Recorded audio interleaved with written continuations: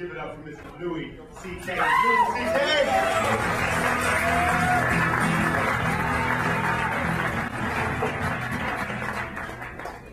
Uh, hello, everybody. How are you? Good. I'm doing well. I had a good day today. I went to the movies, and uh, you know, before the movie, now they show you that whole presentation where they explain that you shouldn't download movies on the internet because you're hurting all the people that work on the movies. They need to feed their families, so you shouldn't download movies on the internet. And I thought, holy shit, I had no idea. I just didn't know you could download movies on the internet. that is great news. I'm going to download all of them. I went to the park today. I like going to the park because I can masturbate without my wife bothering me. So, uh, so I'm at the park and this, there's these no drinking signs, and uh, it doesn't say no drinking. It has a picture of like a martini glass with a line through it. Are those really the people causing the problems with the drinking in the parks? Shouldn't it be like a bottle in a bag with a line through it? Are there guys out there at three in the morning? Hey!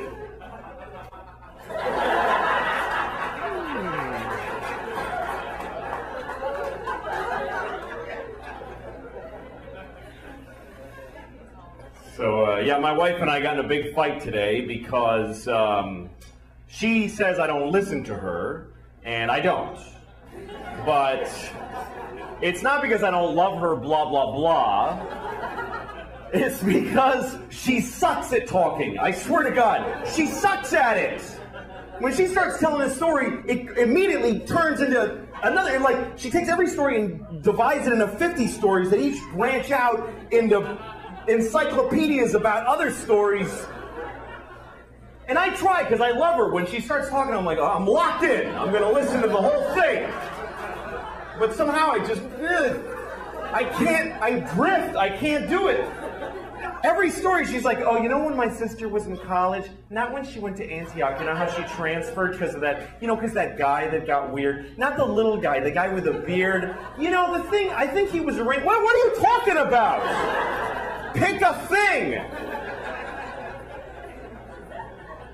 That's what I do. I go, here's the story when I tell it. I bought a tomato and I ate it and it was good. Anyone can follow that story. It was about a tomato the whole time.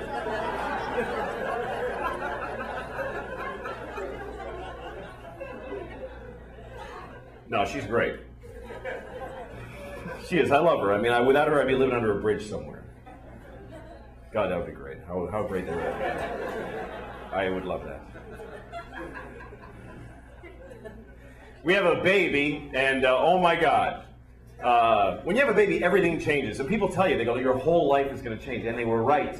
I think the biggest difference between my life now and before we had the baby is that now we have a baby.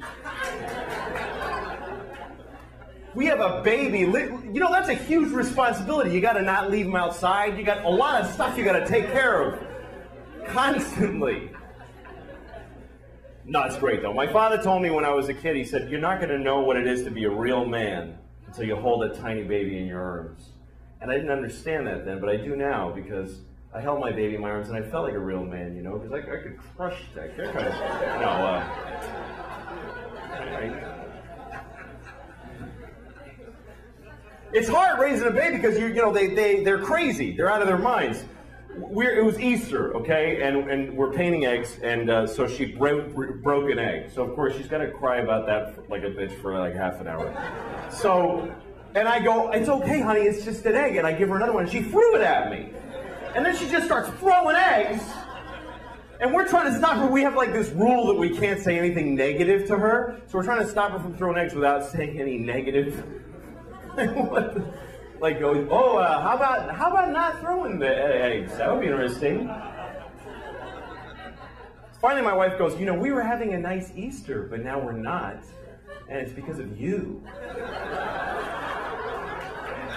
Yeah, that's really positive, honey. Why don't you just punch her in the face? Just punch her right in the face. You might get over that. The worst word a baby has uh, when, when she learns it is the word why. I hate the word why. I, I really hate it. And, it. and it's not Look, like I used to judge other parents, but I don't anymore. Like you know when you're like at McDonald's and you see a parent, a mother or father with a kid, and the kid looks so cute and she's eating fries, and the, and the mother or father's like, oh god, oh Jesus Christ. Oh, I hate this, I hate it, I hate it, I hate it, I hate it. And then a little kid says something like, Mama, why are those people standing there? And she goes, just sh- shut up and eat your fries. And you go, what a horrible mother. Why doesn't she just answer her? How hard can it be to just answer her? You know what? You don't know what you're talking about. Because when a kid asks a question why, you tell her why, and she wants to know why that, too. And then you tell her why that, she wants to know why that. She takes every idea and deconstructs it to the point, I don't even know who I am anymore when we finish talking. The other day she's like, Papa, why is there rain? Oh, because the water fell out of the sky. Why? Because it was in a cloud. Why? Because it, it came from the lake. Why? Because it got hot and it evaporated. Why? Because the earth is hotter when it's nearer to the sun. Why? I don't know. I don't know. Why? Because I didn't pay attention when it was taught to me in school. I didn't listen to anything anybody said to me. Why? Because I have no moral compass and I'm useless. I've never done the right thing. Why? Because my parents didn't raise me right. They didn't even try. Why? Because they just had sex in a car and here I am and they've just been waiting for me to get out of their lives. I'm only stopping to be polite. It goes on for hours. Hours. It gets so abstract. She's like, why? Well, because some things are and some things are not. Why? Because things that are not can't be. Why? Because then nothing would be aren't. There wouldn't be any not things. Why? Eat your fucking fries. Shut the fuck up and eat your fries. Fucking little motherfucker. Jesus Christ.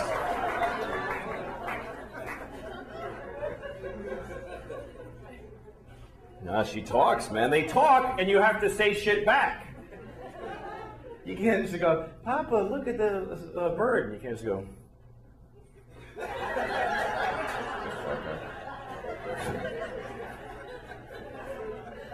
Always want to do that. Like, she says really weird shit sometimes. The other day she said to me, Indian beauty.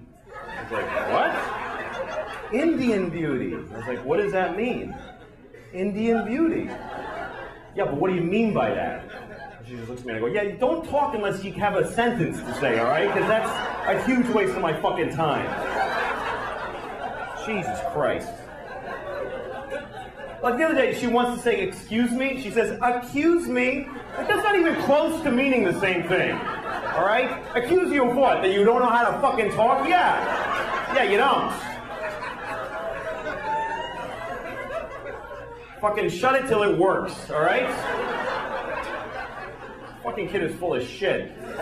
Her favorite song is the alphabet song, right? That's what I call it, the alphabet song. You know what she calls it? She, the name of the song is A, B, C, D, E, F, G. She says, I want to sing A, B, C, D, E, F, G, H, I, J, K, L, M, N, O, P, Q, R, S, T, U, V, W, X, Y, and Z. I'm like, oh, well, now let's not sing it, because you fucking ruined it for whoever's listening.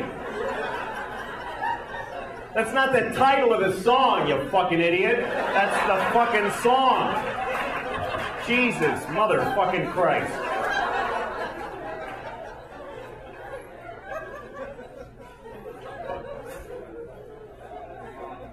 Anyway, so that's my kid. I know I'm going to hell, but uh, so is every other parent because you're all the same.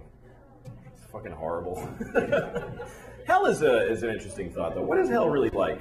I always wonder, is there like a schedule in hell? Like they tell you first, okay, you go in that room, and then some monster fucks you up the ass for a thousand years. then you come out and you're like, woo! Woo! Man, that was.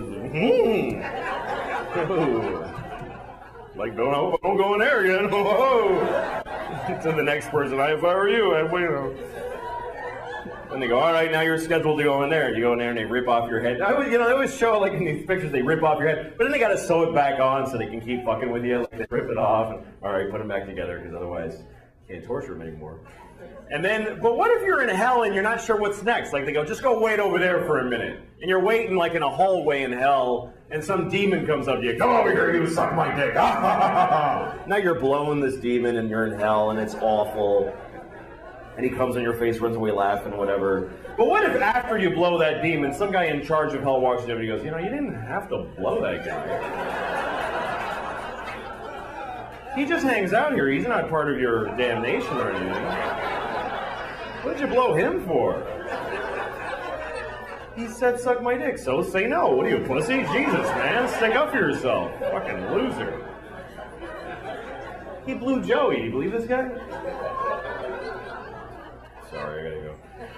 I. Was uh, walking past a, uh, uh, a, a, like a yoga spinning fucking people place, and the door was open, and I look inside, and this teacher, this guy's standing in front of a class, and he's just going like this, and he's going, "Come on, come on, come on, do it, come on!" And everybody, all strangers that don't know each other, are going like this, and he's going, "Come on, come on, come on, all right, come on." And I thought, what fucking power this guy has. I wish I had that power over people. Even without the conceit of a class. Wouldn't it be great to be able to do that, like in an airport? A bunch of people waiting at a gate for a plane. It's like, come on! Come on! Come on, everybody do this! I'm like, oh, fuck, all right, Jesus, why am I have to do this? It's bullshit and late, and I gotta fucking do this. Come on, you two, come on! I actually took a yoga class and it was great. It's amazing the shit they they get you to do that you didn't know you could do. I had, was doing stuff I had no idea I was capable of, like sucking two penises at the same time. I didn't think I could do that. Mine and his. How did I? I would, it's actually that flexible. I could sword fight in my own mouth. All right. Good night. Thank you, everybody. Enjoy the show.